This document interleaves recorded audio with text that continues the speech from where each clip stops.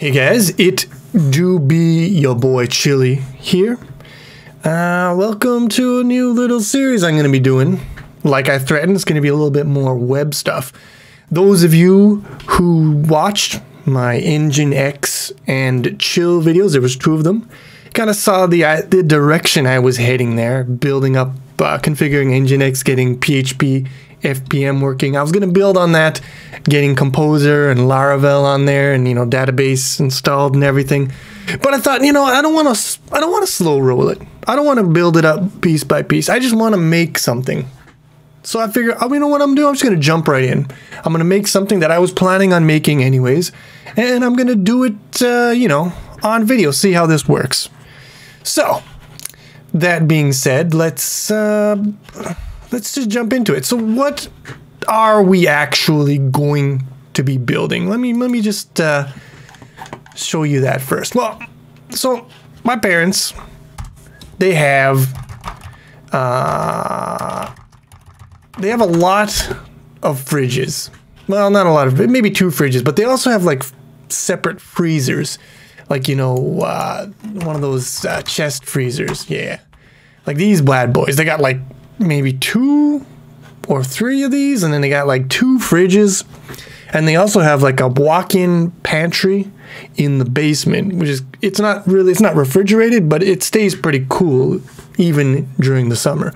So they got a lot of food storage. They tend to like they grow a lot of vegetables and stuff like that and fruits. And they buy stuff like they'll buy like like basically the meat of an entire animal and just like freeze it all. So they got a lot of food. They do, you know, they do canning and other preservation bullshits. I don't know. They got a lot of food and they got to keep track of it. And what they've been doing is they've just been like, they got like a whiteboard on the wall. Uh, whiteboard, yeah. So yeah, well, maybe not like this, but yeah, maybe something like this. And they just kind of write lists on there, like what's in what place. And they got like paper lists and uh, that's okay, I guess, except, you know, kids would visit the house and they would start erasing stuff on the whiteboard. That was a problem, apparently. And also, like, just when you're out shopping and you want to know, like, you know, what are we out of? What do we need? If it's on the whiteboard in, you know, in the front porch, not that useful. So what I figured is I was out there for Christmas thinking what I want to what what do they need for a Christmas present? I was going to I was going to make them some kind of website thing and I saw this I'm like, "Sure. This will be Christmas present." Uh, make you guys a little web app where you can uh, where you can manage this stuff and you can uh, you can access it from your phone and you know remotely is it'll be a good time it'll be a, it'll be a neat little project um, for me and it's a good value for them. I mean, if you were to hire someone to make you a custom, you know, client server web application like this, it would, you know, it would cost you thousands of dollars, right? And I'm gonna do it, you know, so it's, it's a it's a good Christmas present, although they don't probably don't realize it, but that's fine. It's all good, right? Uh, the the problem is I didn't make it. Like that was Christmas of 2019 when I said I was going to do that. It is now 2021, and the, the, the web application still doesn't exist. So I figure I got to get on that. And you know what? I might as well make some content out of it as well. Uh, so yeah, that's what it's going to be. So the basic idea, let's uh, let's just plan it out here. I'll probably split these videos up. I might record in a big chunk and then split them up on YouTube. But this video is likely just gonna be, uh, I don't need this, do I? All right, I got pen, that's good. So yeah, this video is just, just gonna be basically me, yeah, describing what, what we're gonna be dealing with, what, what we're gonna be making here, the details, the, the broad strokes of the planning. So first things first, um, this is gonna be made mobile first because I think primarily they're probably gonna be using it from their phone. So I'm not gonna like design it first for you know my uh, my browser on my computer and then try to tweak it for mobile. I'm to be starting off, you know, quote unquote responsive. Although mostly I'm just to be worrying about how it looks in your standard uh, mobile layout. And um, yeah, the application it should be simple. There there should really be three main features. Like first of all, they've got different areas where they store their food, right? so one might be like uh, kitchen fridge. Sure. Another one might be like porch freezer. Okay. So you'll have, they'll be able to register these different areas into the application. That'll obviously go on the server. Uh, and in the UI, they'll look like this. And if you click on one of them, then it should, it should be like an accordion that expands out. Uh, so let's say that this one is, uh, uh, what do you call it? Let's just call it the cellar. I don't know what it is. It's not quite a walk-in freezer, but it's weird. Uh, and when you click on one of them, that'll expand that one. And then you'll have, uh, you know, lists of stuff that are in the freezer or in the whatever, the storage area, and then a quantity on this side. Uh, and that's it. And you can register, you know, new items into that area. And uh, you can change, you know, the quantities of existing items. You can remove items. That's uh, pretty much a pretty, that's like the main idea of it. So it's not super complicated. Uh, and of course, the other thing you're going to want to be able to do is you're going to want to be able to uh, to search for an item. So let's say I want to search for uh, pickles, good old pickles.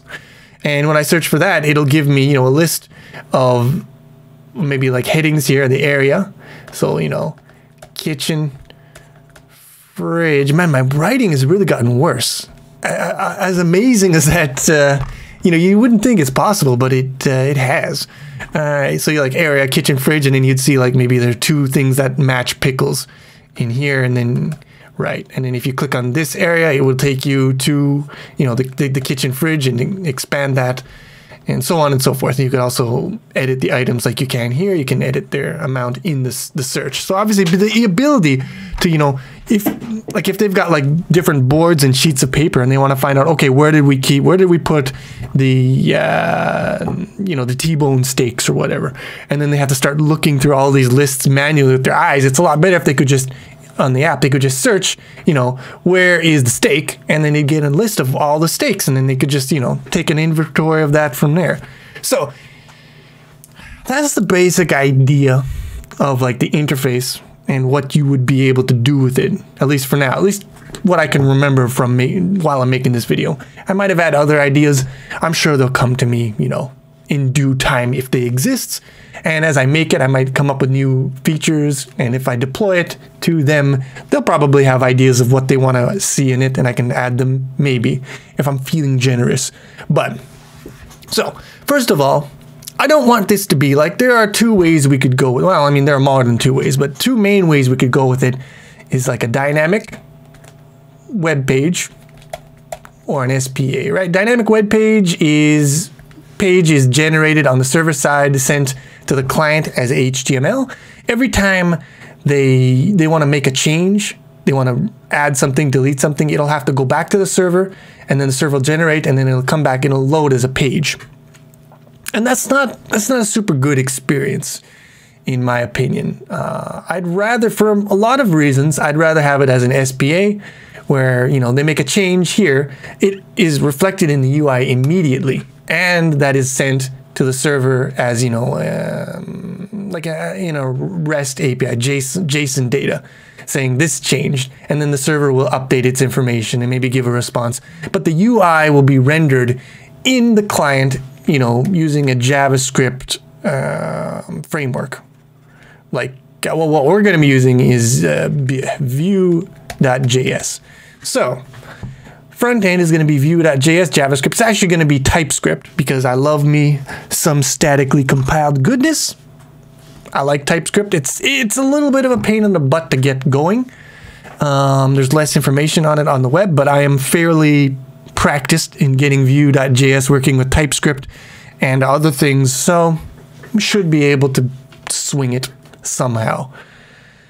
Uh, so yeah, SPA, one of the main things, backend is going to be, you know, my favorite, Laravel. So that's going to be communicating. So we're not going to have, we're not going to be using Blade templates. That part of Laravel, not going to be necessary. Uh, it's going to be used only mainly for uh, its, uh, what do you call it? So many words, you know what I mean? Um, I can't remember. ORM, that's what the word is. Object Relational Mapping, which is called Eloquent. And that is how we're going to be interfacing with the database, which is going to be My, MySQL, MySQL. I don't know. I don't know what people call these things. It's weird because I work with these words so much, but I, I never really hear people talking about them. I just read about them. And so I don't know how to say them. But it's fine. It doesn't matter. Nobody cares. I don't care. If you care, you shouldn't. But, so that's one thing. Yeah, Laravel, ORM, Eloquent, and it's going to be communicating with the SPA, you know, with the, uh, with the JSON API. So we'll have API routes and web, and there's going to be some authentication bullshit. The authentication is going to be a pain in the butt. But we'll also have um, a Redis server running for caching. This is a database, but it's not a relational database. It's an in-memory, um, basically key value store. Uh, so like a, a, a, giant hash tree maybe, although there's a lot of different data structures you can put into it. But it's useful for storing things like session data and caches and you know all sorts of stuff. And it might also be useful for some other middleware that we use. It's not Probably not um, essential that we use Redis in this project, but why not? You know, it's good. Uh, what else? So, communicating with the SPA, there will be a you know a standard HTTP REST API, but um, like I'm running out of space here and it's annoying, but like there will be multiple users of this. So there's going to be the server, right? This is this is the server. Imagine this is the server. This icon means a server. yeah. So you got like multiple clients, right? And if one person adds something to the list, normally with a standard um, with a standard web page or even an SPA, for this user to to see that change, they would have to refresh the page. They would it would need a user action. But we want to push. So if user A add something to a list, we want that information to be pushed to this device automatically.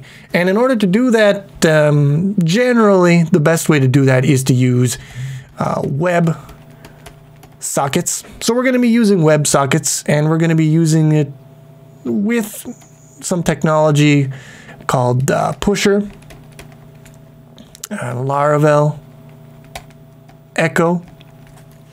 So Pusher is a cloud service um, and you can pay them money, and then you can connect to them from your from your you know from your Laravel or whatever, and you can send stuff, and then this will push to your clients.